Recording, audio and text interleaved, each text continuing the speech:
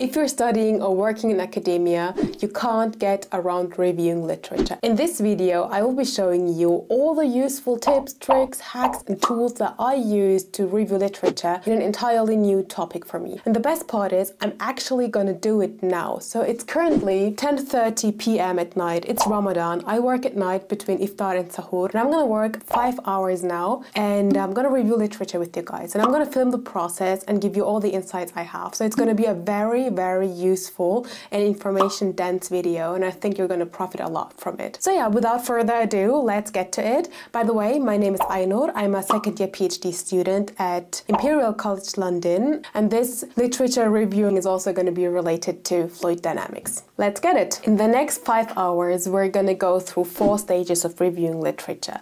The first step is we're going to go and find core papers and core papers are like, these could be like review papers or very important important papers in that field that cover a broad range of this topic already.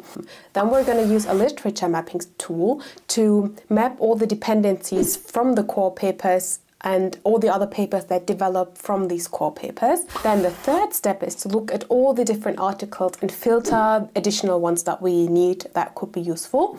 And then we're going to start the tedious reading process. So we're going to read through them and we're going to take notes. And we're going to go through all these four steps together in this video. So when I'm looking for core papers, the first page I go to is lens.org. Lens.org is like Google Scholar. You can basically scan the literature, use it like Google Scholar, but it has much more filters. When you start a search, you can say either scholarly works or patents. So we're gonna look for scholarly works now, and um, then I'm gonna paste all the keywords that I need. So I'm gonna do research on coalescence behavior. Coalescence sentence, difficult word to write, in for bubbles and with alcohol in it. And I'm also gonna add and water because that's the fluids that I'm using. So you can see like even at first glance how many different options I have to filter the search results that I don't have in Google Scholar. So it's really super good. Like I can definitely recommend you to use lens.org. At least try it out. It's for free. So now um, I'm gonna read through uh, the title and I'm gonna see whether all the keywords are within the abstract or the title. So for example, the first one suits very well. It, says, it has all the keywords, coalescence, air, bubbles, aqueous solutions means water, and then we've got alcohol. Okay, so that was, I always open them like on a side page, on a tab, and then I go back to them later on. So let's say coalescence of bubbles in aqueous aqua solutions. Amazing, that's what we want. Hydrodynamics two-phase flow for coalescing and non-coalescing systems. Here in the title I don't read anything of alcohol, so I'm not sure whether that suits whether that suits, but I'm going to read the abstract and here I see that alcohol has been used in this study, so I'm gonna open it as well. Uh, phase one in gas holdup and bubble column reactors. This one, I mean, it has alcohol in it. It goes a little bit into the coalescence part, but it does not really, it's not giving core paper. It has none of the things I'm looking for in the title besides just bubble, and it's more about like gas holdup. So I already know it might have something to do with the research field that I'm looking at, but you know, not entirely. Yeah, I think for starters, that's enough. Like I now have three papers. That does not sound much, but it's gonna take a lot of time to skim through them. And before I open many, many more tabs, I'm just going to skim through them right now to see whether I might have found a core paper or two already or whether I have to continue my search, okay? I'm gonna skim through the abstracts and maybe the introduction results part of potential core papers that we're then going to use for our literature mapping tool. Lens.org when you look at the sources part at the bottom right corner, you have all the links to get directed to the source of this paper. So I'm just going to click on one of these links and then we've got the Science Direct page and I can click on View PDF because I'm already logged in with my college credentials. So now we've got the paper. Obviously, first things first, I'm going to read through the abstract now.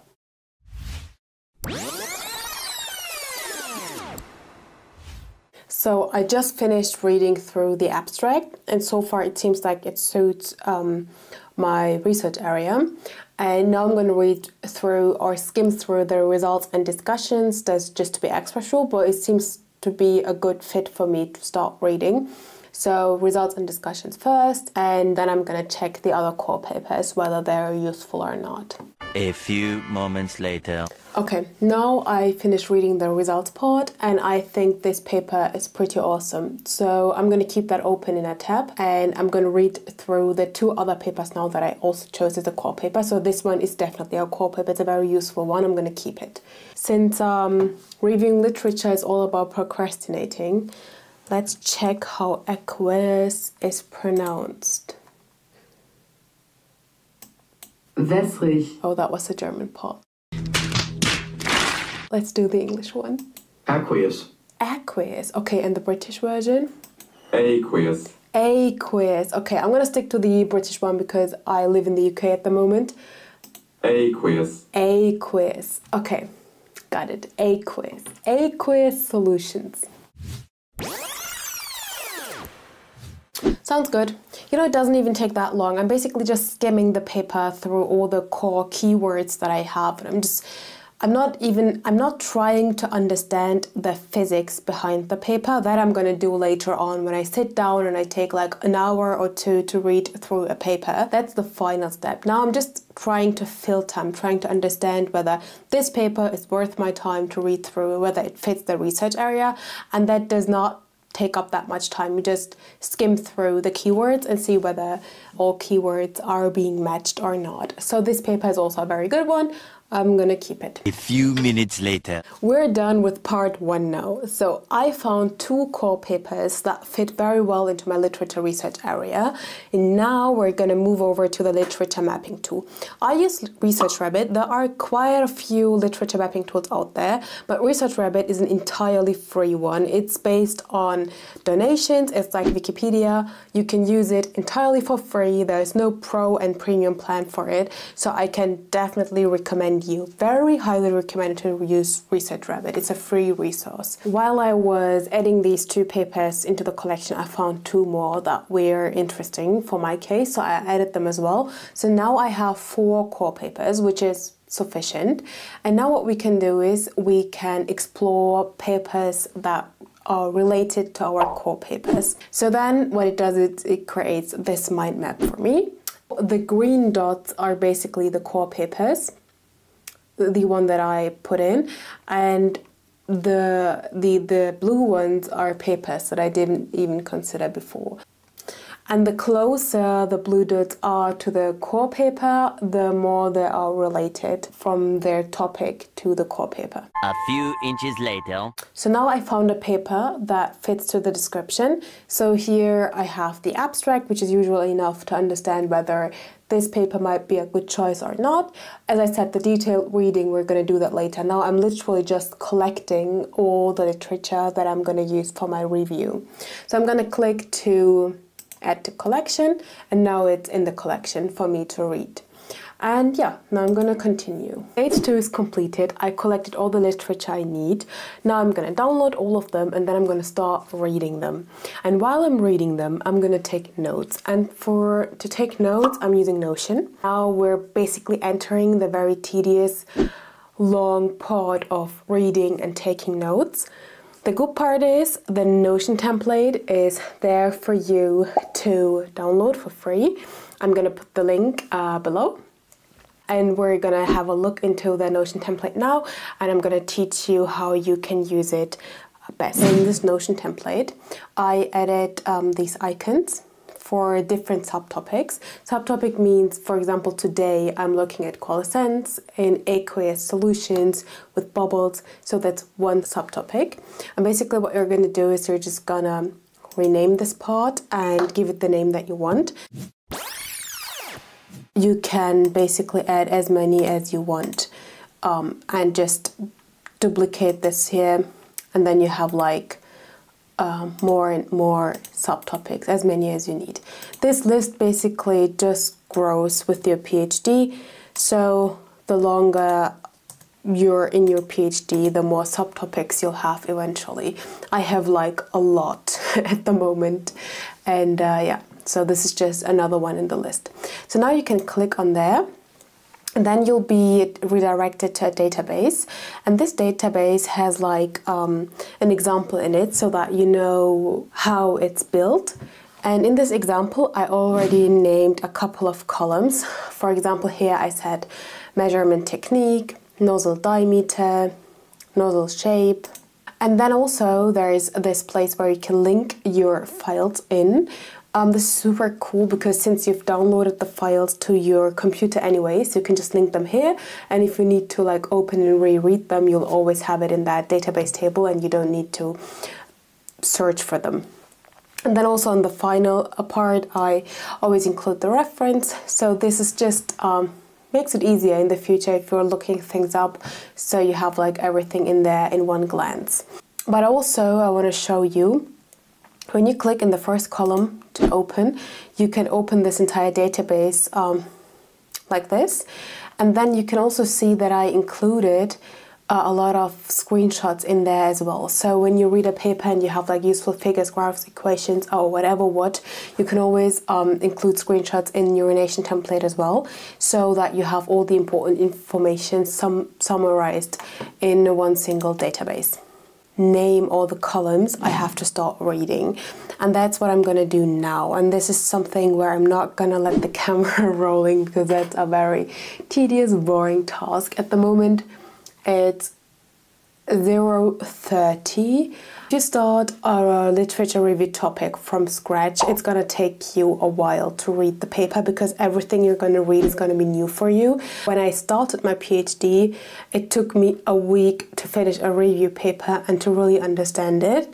So depending on whether you're really new new into your phd or you're in your second year and you're just pivoting into a different direction um, it'll take you more or less time to read through a paper.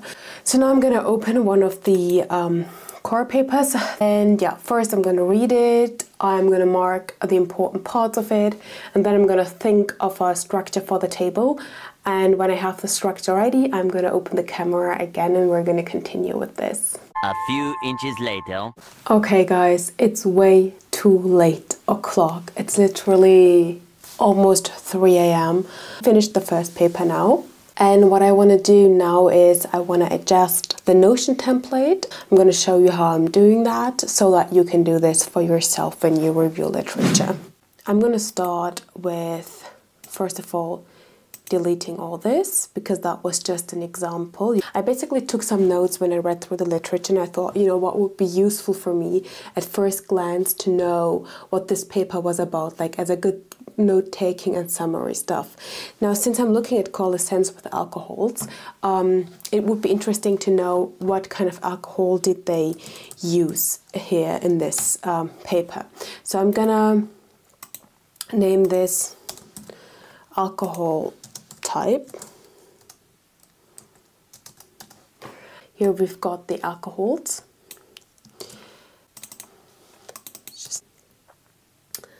I'm interested in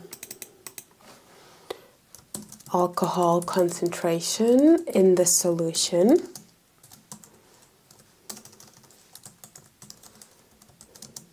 Zero to eight.